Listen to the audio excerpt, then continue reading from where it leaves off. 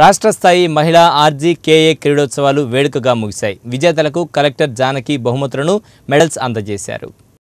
నగరంలోని ఏసీ స్టేడియంలో రాష్ట్ర స్థాయి మహిళా ఆర్జీకేఏ క్రీడోత్సవాలు ముగిశాయి. కలెక్టర్ జానకి విజేతలకు ద్వితీయ తృతీయ స్థానాల్లో వచ్చిన వారికి మెడల్స్ వేసి అభినందించారు. వారికి రాష్ట్ర క్రీడాభివృద్ధి శాఖ క్రీడా ప్రాధికార సంస్థ ఆధ్వర్యంలో బ్యాగులను అందజేశారు. అయితే కలెక్టర్ నిర్ణీత సమయం కన్నా రెండు గంటలు ఆలస్యంగా రావడంతో క్రీడాకారులు టెంట్ల కింద ఎదురుచూపులు చూశారు. ఈ కార్యక్రమంలో JC Salman Raj Kumar RGKA incharge Srinivasarao SAAP director Ravindrababu DSDO Yathiraj Olympic association సభ్యులు రామ్మూర్తి పీఈటీ అసోసియేషన్ అధ్యక్షులు కృష్ణారెడ్డి కార్యదర్శి సనత్ కుమార్లు పాల్గొన్నారు. ఈ కార్యక్రమంలో కలెక్టర్ జానకి మాట్లాడుతూ తొలుత ఆలస్యంగా వచ్చినందుకు క్రీడాకారులందరికీ క్షమాపణలు చెప్పారు. మూడు రోజుల పాటు ఉత్సాహంగా సాగిన ఈ పోటీల్లో ఎటువంటి ఇబ్బంది లేకుండా నిర్వహించిన వారందరికీ అభినందనలు తెలిపారు. క్రీడాకారులంతా జాతీయ స్థాయిలో రాణించాలని ఆకాంక్ష వ్యక్తం చేశారు. మనకు ఈ రోజు ఈ ఫీడ్బ్యాక్ చూస్తే ఈ మూడు రోజులు రాష్ట్ర స్థాయి మహిళలకైన వాలీబాల్ ఖోఖో మరియు కబడ్డీ పోటీలు నెల్లూరులో జరుపుకోవడం మాకు జిల్లా యంత్రాంగ తరపులో చాలా సంతోషం. జేసీ సాల్మన్ రాజ్ కుమార్ మాట్లాడుతూ మూడు రోజుల పాటు పండగల ఈ క్రీడలు సాగాయన్నారు. రాష్ట్రంలోని అన్ని జిల్లాల నుంచి వచ్చిన క్రీడాకారులకు ఆతిథ్యం ఇవ్వడంలో ఎటువంటి ఇబ్బందులు జరగలేదని తెలిపారు. క్రీడాకారులను ఆయా పీఈటీలు జాగ్రత్తగా వారి స్వస్థలాలకు చేర్చాలన్నారు. క్రీడాకారులందరికీ కూడా మరి నేషనల్ స్పోర్ట్స్ మీట్లో మరి పాటియాలలో జరుగుతున్న నేషనల్ మీట్కి మరి పంపించడం జరుగుతుంది.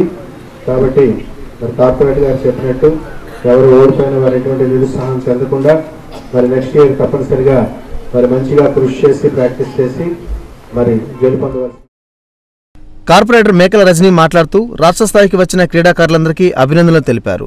విజేతలను స్ఫూర్తిగా తీసుకుని క్రీడాకారులంతా ఉత్సాహంగా పాల్గొనాలని అన్నారు. కొంతమందికే వస్తుంది బహుమతులు అనేటివి. ఇంకా రాని వాళ్ళు కూడా నిరుత్సాహపడకుండా నెక్స్ట్ వాళ్ళని కూడా పూర్తిగా ఇప్పుడు ఎవరైతే మనం గెలుచుకున్న వాళ్ళని చూసి మిగతా వాళ్ళు కూడా స్ఫూర్తితో నెక్స్ట్ టైం శిక్షణ తీసుకొని మరి వాళ్ళు ఆడాలని నేను కోరుకుంటున్నాను. పేదవారి సంక్షేమం కోసం ప్రభుత్వం ప్రత్యేక చర్యలు తీసుకుంటుందని టీడీపీ నేతలు చెప్పారు. మూడో డివిజన్లో పార్టీ కార్యాలయాన్ని ప్రారంభించిన వారు కిరోసిన్ రహిత రాష్ట్రంగా తీర్చిదిద్దారనే లక్ష్యంతో గ్యాస్ కనెక్షన్లు కూడా అందిస్తున్నారని తెలిపారు. నెల్లూరు మూడవ డివిజన్ ప్రశాంతి నగర్లో నూతనంగా ఏర్పాటు చేసిన టీడీపీ కార్యాలయాన్ని నెల్లూరు పార్లమెంట్ నియోజకవర్గ ఇన్ఛార్జ్ ఆదాల ప్రభాకర్ రెడ్డి మాజీ ఎమ్మెల్యే ముంగమూరు శ్రీధర్ కృష్ణారెడ్డి ప్రారంభించారు.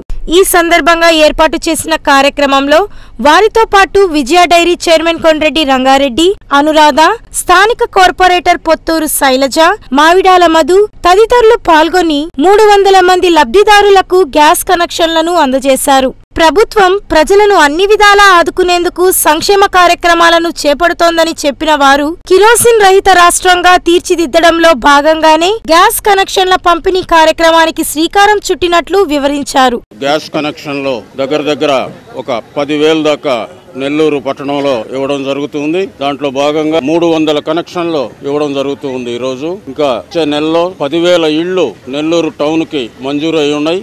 వాటిని అన్నింటినీ కూడా అర్హులైన పేదవాళ్ళందరికీ కూడా ఇళ్ళు ఇచ్చే కార్యక్రమం కూడా చేయడం జరుగుతుంది. లేకుండా మీ అందరికి కూడా పదమూడు వందల రూపాయలకి మీకు gas connection cylinder regulator pipe ఇవ్వడం జరుగుతుంది.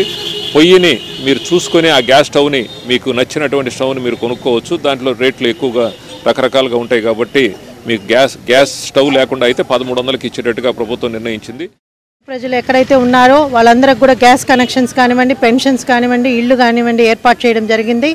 తర్వాత ఈరోజు కూడా దాదాపు నెల్లూరు నగరంలో ఏడెనిమిది వేలు గ్యాస్ కనెక్షన్స్ ఇవ్వమని చెప్పారు.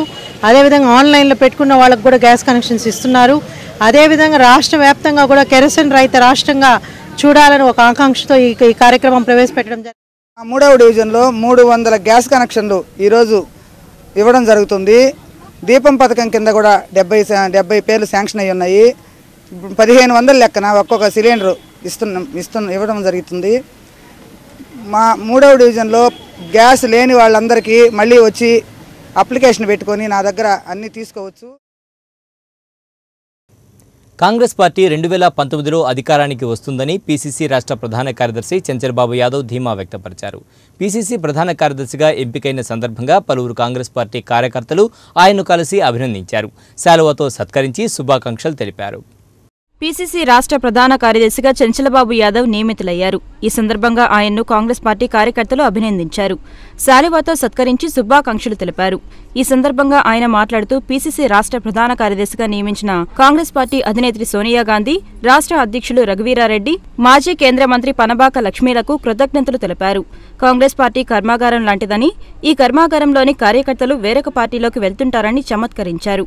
పార్టీ నుంచి వెళ్ళిపోయినంత మాత్రాన ఎలాంటి నష్టం లేదన్నారు. రెండు వేల పంతొమ్మిదిలో కాంగ్రెస్ పార్టీ అధికారానికి రావడం ఖాయమని రాహుల్ రాహుల్ గాంధీ ప్రధానిగా ప్రమాణ స్వీకారం చేయనున్నారని ఆయన ధీమా వ్యక్తపరిచారు. ప్రదేశ్ కాంగ్రెస్ కమిటీలో అత్యున్నతమైనటువంటి రాష్ట్ర ప్రధాన కార్యదర్శిగా నియమించినటువంటి మా ఆల్ ఇండియా కాంగ్రెస్ పార్టీ అధినేత్రి శ్రీమతి సోనియా గాంధీ గారికి అలాగే మా ప్రదేశ్ కాంగ్రెస్ కమిటీ అధ్యక్షులు నా ప్రీతమ నాయకుడు రఘువీరెడ్డి గారికి ధన్యవాదాలు తెలియజేసుకుంటున్నా. ముఖ్యంగా కాంగ్రెస్ పార్టీకి ఓటు బ్యాంక్ ఉన్నటువంటి దళిత వర్గాలను బడుగు బలహీన వర్గాలను మైనార్టీ వర్గాలను తిరిగి కాంగ్రెస్ పార్టీ వైపు తీసుకువచ్చి కాంగ్రెస్ పార్టీ బలోపేతానికి నేను కృషి చేస్తానని చెప్పి ఈ సందర్భంగా తెలియజేసుకుంటున్నా. ఇటువంటి సందర్భం మళ్ళీ రెండు వేల పంతొమ్మిది పునరావృతం అవుతుంది. ఈరోజు అధికార పక్షం మాటలు నమ్మే స్థితిలో ప్రజానికం లేరు కానీ ఇది బ- బలుపు కాదు. వాపనే నగ్న సత్యం బయటపడుతుంది. ఖచ్చితంగా కాంగ్రెస్ పార్టీ జెండా రెపరెపలాడుతుంది కాంగ్రెస్ పార్టీ అధికారంలోకి వస్తుంది. రాహుల్ గాంధీ గారు ప్రధానమంత్రి అవుతారు. ఆయన ప్రధానమంత్రి కాకుండా అడ్డు వేసి సత్తా ఈ భారతదేశంలో ఏ పార్టీకి లేదని చెప్పి కూడా ఈ సందర్భం నగరంలోని పంతొమ్మిదో డివిజన్ పరిధిలోని కర్ణాటిమిట మున్సిపల్ హైస్కూల్లో వరద బాధితులకు చెక్కుల పంపిణీ కార్యక్రమం జరిగింది. నగరంలోని పంతొమ్మిదో డివిజన్ పరిధిలోని కర్నాలమిట్ట మున్సిపల్ పాఠశాలలో వరద బాధితులకు చెక్కుల పంపిణీ కార్యక్రమం జరిగింది. కార్పొరేటర్ సునీత ఆధ్వర్యంలో నూట యాభై ఏడు మందికి వరద పరిహార చెక్కులను అందించారు. వర్షాలు కొందరికి సంతోషం కొందరికి ఇబ్బందులు కలిగించాయని టీడీపీ నేత కోటంరెడ్డి శ్రీనివాసరెడ్డి తెలిపారు. వర్షాలతో రైతన్నులు సంతోషిస్తే కూలీలు ఉపాధి లేక తీవ్ర ఇబ్బందులు పడ్డారన్నారు. ప్రతి ఒక్క వరద బాధ్యునికి సహాయం అందాలని సీఎం తెలిపారని చెప్పారు. అనంతరం కిలారి వెంకటస్వామి నాయుడు కార్పొరేటర్ సునీత మాట్లాడారు. ఇరవై ఐదు కేజీల బియ్యం పప్పు నూనె చక్కెరిచ్చాడు. ఇంతవరకు రాష్ట్ర చరిత్రలో ఏ ముఖ్యమంత్రి కూడా ఇవ్వనటువంటి సహాయం ఆయన అందరికీ చేశాడు. కొంతమంది నీళ్ళలో తడిసిన వాళ్ళకి ఇవ్వమంటే ఆ రోజు మేము వెంకటస్వామి నాయుడు గారు ముఖ్యమంత్రి గారిని కోరాం మంత్రి గారిని కోరాం. ప్రతి ఒక్కరు తడిశారు సార్. ఎవరు నీళ్ళల్లో ఏ ఇల్లు తడవలేదు. ప్రతి ఇల్లు తడిసింది కాబట్టి అందరికీ మనం మేము కోరటం మా మంత్రి గారు ముఖ్యమంత్రి గారు ఒప్పుకోవటం మా ముఖ్యమంత్రి గారికి మేము మేము ప్రత్యేక కృతజ్ఞత తెలియజేస్తున్నాం. ఈరోజు ఈ మధ్య జరిగిన వర్షాల కారణంగా వరద బాధితులకు మన ముఖ్యమంత్రి చంద్రబాబు నాయుడు గారు బియ్యము పప్పు నూనె చక్కెర నాలుగు రకాల సరుకుల్ని అందించారు. కానీ డ్యామేజ్ అయిన ఇళ్ళకు కూడా వరద బాధితుల సహాయార్థం చెక్కుల్ని అందజేస్తున్నారు. ఈ డివిజన్లో అన్ని విధాల తెలుగుదేశం పార్టీ అభివృద్ధి అభివృద్ధితో ఎన్నో కార్యక్రమాలను చేపడుతున్నాం.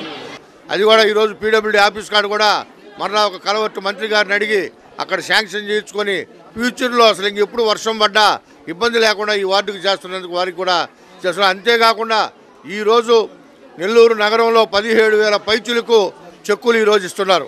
అది తెలుగుదేశం పార్టీ నారా చంద్రబాబు నాయుడు గారి అనుమతి మేరకు ఈ కార్యక్రమంలో శ్రీనివాసులు నాయుడు అశోక్ రెడ్డి టీడీపీ కార్యకర్తలు తదితరులు పాల్గొన్నారు. ఇప్పుడు కాసేపు వాణిజ్య ప్రకటనలు అనంతరం మరిన్ని విశేషాలు.